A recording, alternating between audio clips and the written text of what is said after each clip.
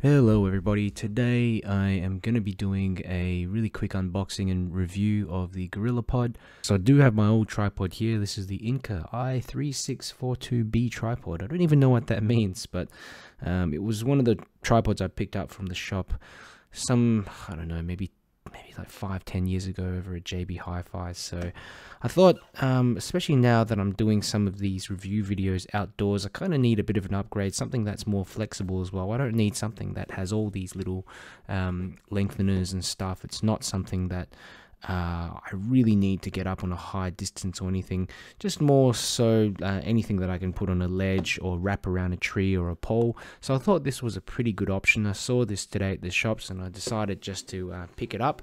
Um, that was $59 maybe maybe that's a bit above what I would have paid if I just got it online, but I did get it anyway. This is the box that it comes in. It's pretty basic. Um, you know, it's the 1K kit, so it's for cameras that are up to a kilogram. So my Sony A7C, which I have over here, I'm going to attach it on and we'll see how we go. Um, the camera body itself is about 500 grams. The lens, I think it's about 200 and something grams, though I do have a Tamron 28 to uh, 200 lens that weighs almost as much as the camera body itself. So that does put it over the one kilogram mark. Um, but I'll be using it with this and see how it feels in terms of stability. This is the Rode VideoMic Go 2. So let's open up uh, this box and see what's inside. So as you can see here in the box, proprietary ABS plastic sockets. Um, like about it is that it just is able to wrap around stuff and I thought this was maybe a bit of a gimmick initially but I've seen a lot of people use this online and it seems like a pretty good um, you know in terms of portability you can carry it around your bag and I think that's something that I really like because I don't like carrying too much around with me so they're kind of like ball and something like ball and socket joints like a whole bunch of them in a row. So I think this actually weighs 200 grams from the um, specifications 200 grams rubberized foot and ring rubberized ring and foot grips. You can see it just wrapping around things. So let's open this up and see what it comes with. Uh, instruction manual. Seems pretty straightforward to use. Um, put on the put on the little screwy thing at the bottom of the camera there and then you connect that on the bottom okay? So it can rotate 360 degrees and it can um, turn downward 90 degrees or backwards. So I think that's pretty cool. I think for some people who are looking maybe to record overhead videos or something like that that might be useful. You won't really be able to get up that far but we'll see how we go. Um, so this is what you get in the box. So it's not a whole just it's just a couple of things. So we've got um, I don't know what that is, just the holder, I suppose. Um, so, I don't think you need an instruction manual for this. I really like the quality of this. I did have a look at uh, some other brands over at the shop. Um, I think there was like an XCD brand or something like that, but it just didn't look so good in terms of the quality. Um, so, I thought this one would be a goer.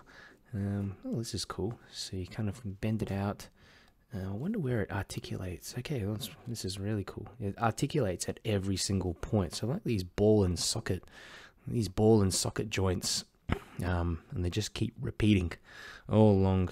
And uh, so you can just completely flex them. They, they have a, they feel quite um, rigid as well. They're definitely going to hold. So I mean, I'm going to use, I have to use two hands to um, to move around. I'll probably use one hand like that but it's pretty hard still.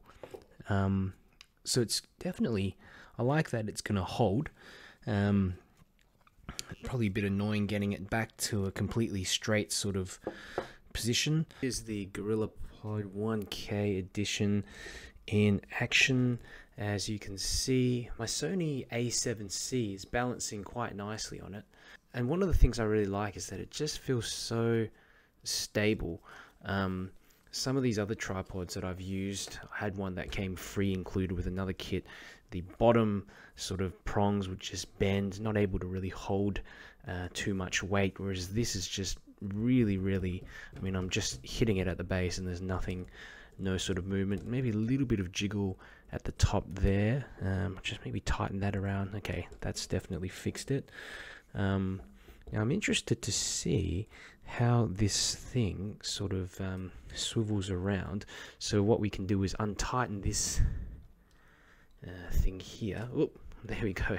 So then you can sort of swivel it around. Um, say if I want to uh, just turn the camera around wherever I want and just maybe point it downwards like that, and let's tighten the thing at the back, and it holds, and it feels pretty stable. Um, I probably have to shift this one forwards, that foot forwards. Um, I don't know. I guess you wouldn't really. I guess you wouldn't really film like this anyway. But um, let's undo this a little bit more again. Um, but it is cool to know that you can swivel this pretty much around wherever. Um, I think when you go on those more extreme angles, you're just going to have balance issues anyway. I really can't fault it, and I'm quite pleased with this purchase. Actually, there was another couple out there. There was the um, 3K kit and the 4K kit, and I was really tossing up between getting either one of those two. But um, I'm actually glad that I got this one because now that it's out of the box, you know, compared to my hands, um, you know, look at that. It's it's enough. I don't need something that extends all the way out there. Otherwise, I might as well be carrying around a full-sized um, tripod, unless you've got a rig that weighs significantly more than one kilo, um, this is going to do you completely fine. So I might try on my other lens and just see what it feels like with the other lens. Okay, so I've just gone ahead and swapped over to my Tamron uh, 28 to 200 lens. Um, compared to the Sony lens here, the 4 to what's it 28 to 60 kit lens, um, double the size and weight, as you can see, and um, you know the camera's on a little bit of an angle and you can see it already start falling forward. If I let go this thing's going to fall forward. So I'm just going to see if I can shift balance the weight out a little bit more. Okay so what I've done is that I've just adjusted the legs so that the camera um, the front of the camera is kind of um, balanced in between the two front legs as you can see. Uh, let me just turn that a little bit. The camera's uh, balanced between the two front legs and you've got the heavy lens at, on the front, this is balancing a lot better. So those two legs are providing enough support. There's no shift or anything underneath. Um, again, I think this setup's 1.1, 1.2 kilos at least. So um, I'm really surprised that it is holding up so well. Um, I wasn't expecting too much, especially because I, I, wasn't intending to use this um, camera with the 28 to 200 lens. It's more the kit lens, more of a portable sort of setup when I'm outdoors doing some filming. But um, look, if you want to use it with a kit that's just over one kilo, it does certainly work and um, it holds up to that. So um, I think that's a really good point to make because you know you, you don't want to be going around carrying um, a really large kit if all you need is something like this. I mean, this thing's ridiculous, and you're probably not gonna you're not gonna carry around something like that, but um, you might, you might. Uh, certainly, I bring this lens with me when I go traveling as well because it's a very versatile lens. Um, you know, having such a such a wide range, so um, it's interesting to know that it does work with it. Um, I recommend a smaller kit lens to Alright, here we go. Back on with the Sony 28 to uh, 60 FE lens and wow, much lighter, much more easy to control. So in summary, the pros I like about this thing is the quality um, like I did see a few other brands there and they were cheaper, maybe half price, 20 $30. Um, but the quality of the joins were just not so good. They weren't as rigid. The other one that I saw in the shop didn't have the the entire leg area kind of rubberized, just the bottom. So I think that would be an issue gripping around. Um, yeah, just gripping around some objects. So I like that it's it's completely rubberized with these little grippy things here. Um, the rigidity of it as well, really surprised just how um, these ball and socket joints uh, provide maximum flexibility, but then so much rigidity and, and flexibility as well to um, go into all these different positions. I wonder how this thing will last long term, whether these joins will eventually start wearing out and then we'll get some, um, you know, and then we'll get some maybe looser joins and stuff like that. I think that's um, inevitable, but I mean, for something that I paid 60, 50, 60 dollars for, I think um, I'm just really happy with it. Uh, the little rotation, the little swivel here, uh, really impressed with the swivel and uh, just how easy it is. That it's just one knob essentially, and you uh, undo it, and then you swivel it around, point the the camera whichever direction you go, and just tighten it up again. Um, easy for beginners to use, and um, I think worthwhile. Definitely paying the extra money for. It is a bit more expensive than some of the other brands out there.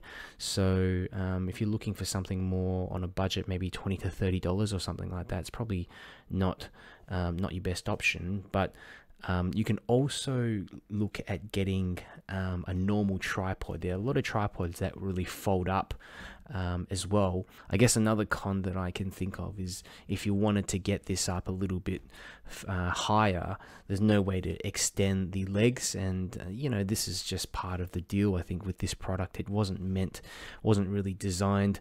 Um, I guess to provide uh, maximum height for your camera. It's more to grip around objects and and um, be a easy to carry along tripod to bring with you. So um, of course, you can't, I don't think you can really expect to have something that extends out that far, would kind of defeat the purpose.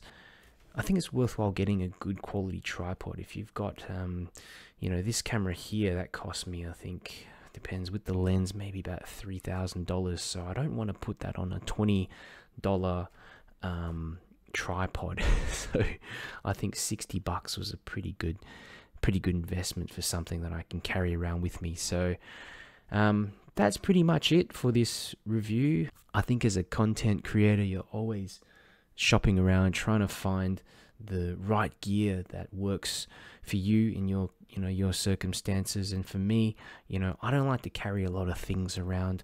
Um, you know probably the most outdoors videos i do is just some trekking stuff around melbourne. Um, you know some uh, some urban some urban videos uh, some of these flashlight reviews where I bring the camera outdoors, you know, that's probably about the only time where I use it. So um, I don't need a gigantic tripod and something like this where I can just literally chuck it in my bag and be done with it. Um, I think that's fantastic. I mean, I'll just probably put this head side up into the bag and just chuck it in um, with my other stuff. So, um, that's pretty much it. So thank you for watching. If you have any questions, leave them in the comments and uh, I'll get back to you.